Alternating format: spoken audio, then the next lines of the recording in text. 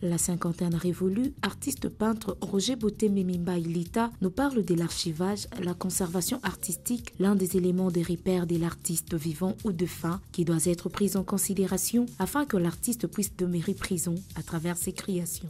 Je suis un artiste. Souvent on dit les artistes ne meurent jamais. Mais il y en a aussi qui sont partis et partis aussi effacés.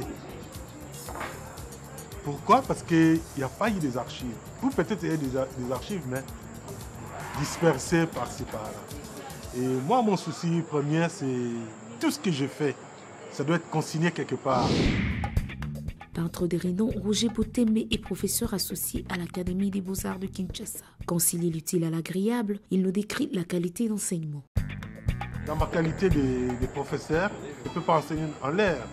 Tout enseignant il enseigne avec des, éléments, avec des valeurs sûres. Et ces valeurs sûres, ça doit être consigné dans un livre. Et on ne peut pas être professeur sans publication. Les amoureux de ces œuvres n'achètent pas seulement l'œuvre. Au-delà de ces magnifiques et chatoyantes palettes, ils sont convaincus par la pensée de l'auteur à travers les couleurs richissimes qui garnissent ces toiles. J'expose seulement des tableaux et que les gens, je n'aime pas ces termes-là, achètent mes œuvres parce que je ne suis pas commerçant. Je ne vends pas ma pensée.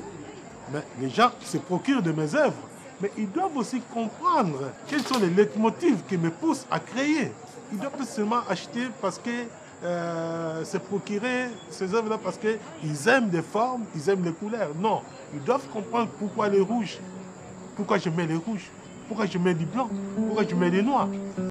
L'artiste prône pour la renaissance artistique à travers son ouvrage Sankofa, qui symbolise un oiseau de bon augure et qui signifie renaissance dans un dialecte ivoirien. On penser sur euh, Sankofa, en langue africaine, en français on dira la renaissance africaine, que ce soit l'éveil de la conscience africaine que nous voulons tous